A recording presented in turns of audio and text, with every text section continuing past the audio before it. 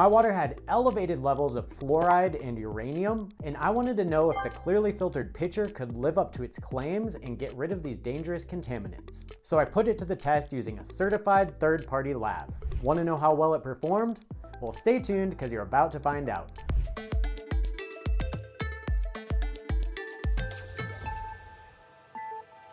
Hey guys, Brian Campbell here from Water Filter Guru. Before we get lost in the data, I just want to clarify that this was a single real-world test from just one location in Colorado with a particular range of contaminants. It's awesome information, but it's important to remember that it might not translate perfectly to other areas or situations.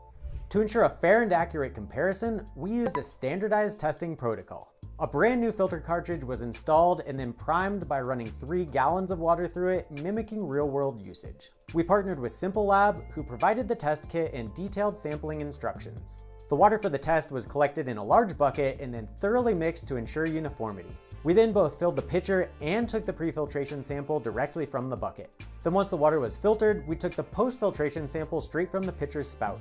We'll analyze the data using Simple Labs health guideline level, which prioritizes human health.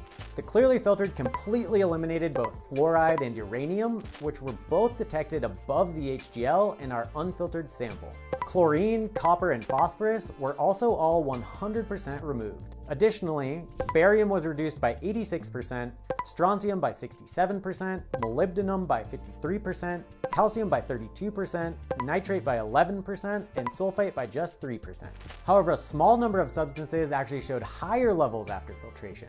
I'll break that down in a moment, but first, like this video and drop a comment with your filter testing requests. And don't forget to subscribe for more videos on water filter testing. So after filtration, magnesium increased by 64%, sodium by 48%, chloride by 4%, and cobalt and potassium were detected where they were absent in the pre-filtration test. The good news is that chloride, magnesium, sodium, and potassium are all essential for human health, so these slight increases aren't cause for concern. However, cobalt was detected at 5.4 micrograms per liter, exceeding the health guidance level of 2 micrograms per liter. While this finding merits attention, let's explore the context. The Handbook on the Toxicology of Metals estimates that people consume between 5 and 50 micrograms of cobalt daily through their diet. And cobalt plays a beneficial role as part of vitamin B12, which is essential for health. However, some evidence suggests potential adverse effects from chronic oral exposure, although the CDC acknowledges a lack of definitive studies on long-term oral toxicity.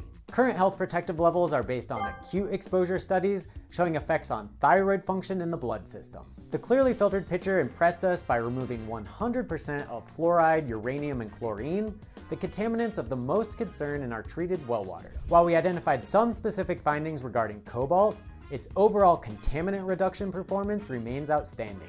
If you're looking for a high-performing water filter pitcher for a treated water source, and you prioritize removing fluoride, uranium, and chlorine, then the Clearly Filtered is definitely worth considering. If you want to purchase the Clearly Filtered pitcher or learn more about the TapScore testing service that we used for this video, there are links in the description. And if you enjoyed this deep dive into the data, then don't miss the next video where we put another popular brand to the test. Click or tap to keep watching.